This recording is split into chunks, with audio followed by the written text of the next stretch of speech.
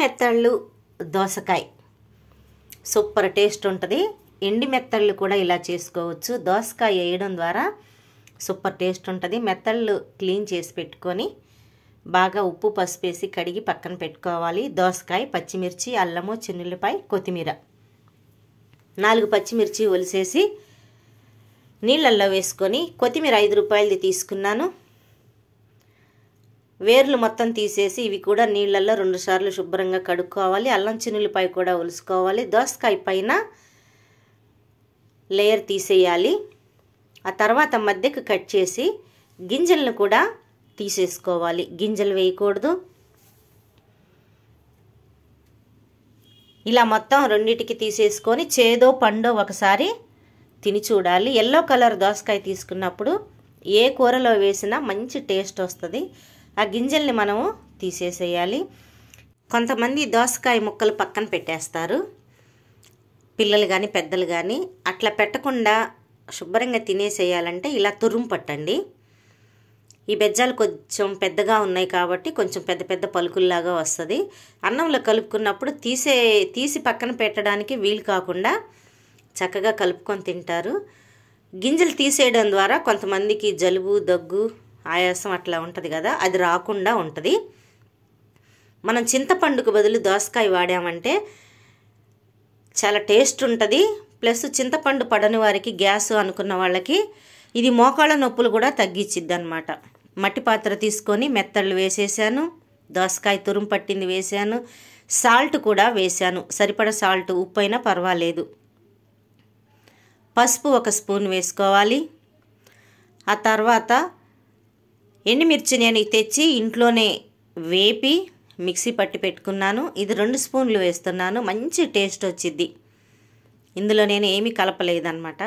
రెండు స్పూన్లు ఆయిల్ వేస్తున్నాను. ఇవి కూరకి సరిపోతుంది. ఒకసారి గరిటె సహాయంతో బాగా కలుపుకొని మిగిలిన ఈ మనం చేసే లోపల అల్లం చిన్నులపాయలు ఒలుసుకొని రెడీ చేసే లోపల మూత పెట్టి పక్కన పెట్టుకోవాలి. అల్లం పైన పొట్టు తీసేసి కడిగి చిన్న ముక్కలు కట్ చేసి ఒక రోట్లో చిన్న రోలు సహాయంతో దంచుకోవాలి. ఇది కొంచెం మెత్తగా అయిన తర్వాత చిన్నులపాయలు ఒక చిన్న గడ్డ తీసుకున్నాం కదా అవి కూడా పైన పొట్టు తీసేసి ఇలా దంచుకోవాలి. ఆ తర్వాత నాలుగు పచ్చిమిర్చి కూడా దంచుకోవాలి. మంచి రుచి వచ్చిద్ది. మిక్సీ కూడా పట్టొచ్చు. ఇలా చేసి చూడండి అప్పటికప్పటికి చాలా టేస్ట్ ఉంటుంది. అవి కొంచెం మెత్తగా అయిన తర్వాత కొత్తిమీర కూడా వేసి కొంచెం పలుకులుగా దంచుకోవాలి. కొత్తిమీరని మరీ మెత్తగా అవ్వాల్సిన అవసరమైతే లేదు. టేస్ట్ చాలా బాగుంటుంది. ఇలా చేశారంటే మొత్తం ఇందులో వేసేసి మనకు నీళ్ళు ఎంత అవసరమో ఇప్పుడే ఫస్టే పోసేసుకోవాలి. మధ్యలో అసలు పోయకూడదు. నేనైతే ఈ రోట్లో కొంచెం పోసేసి నీళ్ళు అవి ఇందులో పోస్తాను. ఒక అర లీటర్ పోసుకుంటాం. మన ఇష్టం పావు లీటర్ అయినా పోసుకోవచ్చు. దోసకాయ వేసాం కాబట్టి మంచి రుచి వస్తుంది. తర్వాత చింతపండు పడని వాళ్ళు ఇలా చక్కగా దోసకాయతో చేసుకున్నారంటే మీకు మోకాళ్ళ నొప్పులు కూడా రావు. కొంతమందికి చింతపండు తగిలితే మోకాళ్ళ నొప్పులు గ్యాస్ ఫామ్ అయింది కదా. దోసకాయ ఒట్టి ముక్క కూడా రోజుకు ఒక ముక్క తిన్నారంటే కూడా మోకాళ్ళ నొప్పులు తగ్గుతాయి. పైన అవి తీసేసుకోవాలి. మనం లోపల గింజలు పైన దోసకాయ మీద ఉన్న చెక్కు తీసేసుకొని మాత్రమే వండుకొని తినాలి. ఇప్పుడు ఇంకా ఇందులో మనం ఏమి కలపాల్సిన అవసరం లేదు. ఇంకా ఎక్స్ట్రా మసాలా అవసరమే లేదు. ఇలా చేసి చూడండి. ఆ ఫ్లేవర్ అనేది చాలా బాగుంటుంది. నేను ఫస్ట్ వీడియో చేసి ఇదివరకు నేను ఒకసారి వండితే చాలా బాగుంది.